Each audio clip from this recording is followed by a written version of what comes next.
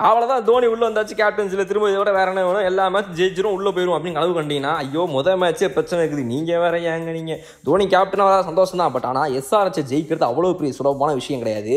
CSK அணிக்கு பெரிய சவால்கள் இந்த மேட்ச் இருக்குது அச்சுறுத்தும் ஆபத்துகள் இருக்குது. எதுக்கு ஏதோ புயல் வர போகிறதுக்கு முன்னாடி சன் டிவியில் பேசுற மாதிரி பேசிக்கிறீங்க கொஞ்சம் பாசிட்டிவாக எதனா பேசுங்க அப்படின்னா நான் என்ன பண்ணுறது அந்த அளவுக்கு இருக்குது.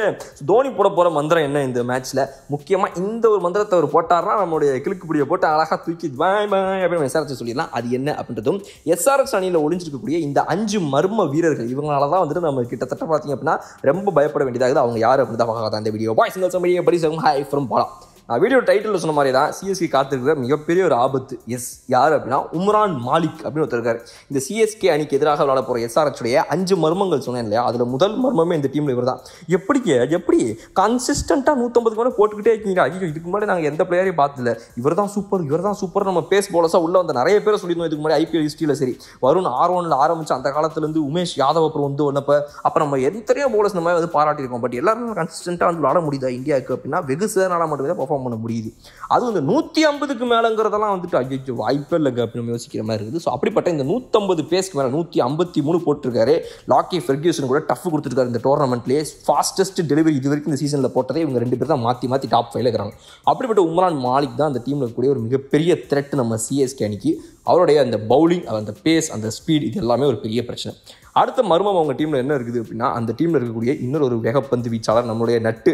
நட்டென்ன அந்த ஒரு சேலை பக்கம் வரேன். அப்படியே லைட்டாக கொஞ்சம் எழுதி கொடுங்க என்ன மாதிரி பால் போட போறீங்க அப்படின்னா அவர் நான் ஆறு பால் யாக்கர் போடுவேன் தம்பி அப்படின்னு ரொம்ப வருஷம் சொல்லிட்டு இருந்தார் ரெண்டு வருஷத்துக்கு முன்னாடி. இப்போ பார்த்தீங்க அப்படின்னா யாக்கர் போடுறாரு பவுன்சர் போடுறாரு ஸ்லோ பால் போடுறாரு சொடுக்கு பால் போடுறாரு எல்லாத்தையும் மாற்றி மாற்றி போட்டு அவர் வேறு அதுக்கு மேலே கன்ஃபியூஷன் பண்ணுறாரு அவர் ஒரு ரெண்டாவது த்ரெட்டு இந்த சிஎஸ்கே அணிக்கு இன்னைக்கு மேட்சை பொறுத்த வரைக்கும். டெத் ஓவர்ஸில் இவங்களுடைய பவுலிங் ரொம்ப ரொம்ப ரொம்ப ரொம்ப சூப்பராகுது அதுவும் டாஸ் வின் பண்ணி நம்ம சிஎஸ்கே அணி பவுலிங் பண்ணுறதா பேட்டிங் பண்ணுறதான்றதுல ஒவ்வொரு டீம் டீம் கூடயும் சின்ன கன்ஃபியூஷன் இருந்தா இந்த டீம் கூட கன்ஃபியூஷன் மட்டும்தான் இருக்கும். ஏன் அப்படின்னா இவங்க இது வரைக்கும் ஜெயிச்ச எல்லா மேட்சஸும் சேசிங் மணி தான் ஜெயிச்சிருக்காங்க. ஓ இப்போ தோத்த எல்லா மேட்சஸுமே வந்துட்டு ஃபர்ஸ்ட் பேட்டிங் பண்ணியா அப்படின்னா இல்லை. தோத்த மேட்சஸும் சேசிங் மணி தோத்து போயிருக்காங்க. அப்போ இவங்ககிட்ட நம்ம என்ன தாங்க பண்ணுறது இவங்களை பேசாமல் சேசிங்கே பண்ண விட்டுருவோமா அப்படின்னா அதில் பெரிய கன்ஃபியூஷனா சரி நம்ம வந்துட்டு இந்த சேஸ் பண்ணுவோமான்னு பார்த்தா முடியவே முடியாது. ஏன்னா இவங்களுடைய இந்த உமரான் மாலிக் அண்ட் நட்ராஜன் ரெண்டு பேரோட டெத்து போலிங் அமேசிங்காக இருக்குது. நம்மளை சேஸ் பண்ண விடவே மாட்டாங்க இவங்க கண்டிப்பாக. அப்படிப்பட்ட ஒரு பவுலிங் பட் ஆனால் இது வரைக்கும் இவங்களை வந்து இந்த டீம் எந்த டீமுமே வந்து இவங்களை செகண்டில் பவுலிங் பண்ண வச்சு பார்த்தது கிடையாதுங்கிறனால அந்த ஒரு ரிஸ்க் எடுக்கலாமா? அதை வேணால் நம்ம பிளான் பண்ணலாமா அப்படிங்கிறது தோனி எடுக்க வேண்டிய முடிவு. பேட்டிங்காக பவுலிங்காக இந்த டீம் கிட்ட நம்ம சப்போஸ் டாஸ் வின் பண்ணணும்.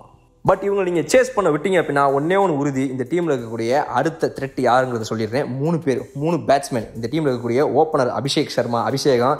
அப்புறம் நம்முடைய மதிப்பெண் ரம்மு மார்க் ரம்மு கூடையே சேர்ந்து இறங்குற அப்படியே அதுக்கு முன்னாடி ஒன் டவுனில் நம்மளுடைய திருப்பதி வந்த திருப்பம். இந்த மூணு பேர் சேர்ந்து மேட்ச்சை முடிச்சு போடுறாங்க. ஆரஞ்சு கேப் லிஸ்ட்டில் பார்த்தீங்கன்னா டாப் டுவெண்ட்டிக்குள்ளே இவங்க வந்துடுறாங்க. டாப் பதினஞ்சுக்குள்ளே மா மீறி வந்துடுறாங்க.